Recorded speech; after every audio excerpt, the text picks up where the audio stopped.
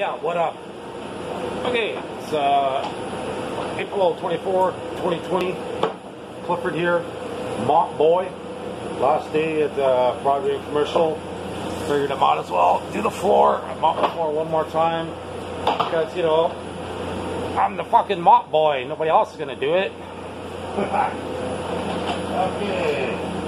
Here comes my uh, old uh, janitor ways. Uh, it's all about uh, the swirly swirlies. You got to go like this. You got to do a little bit of a nice little swirl. And then every once in a while, you want to get it, really get into it. Just throw a couple, couple kicks there. Uh, you know, just, just get on, get on down to the ground, and then you know, well, go to the goddamn bucket and put the water in.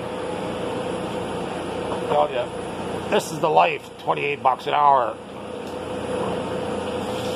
Not really after taxes. It's really bullshit. okay, that's about it. It's going to take forever to load. So yeah, Clifford Robert here, young, uh, coming at you live from our Broadway and commercial Safeway cooler. Peace out.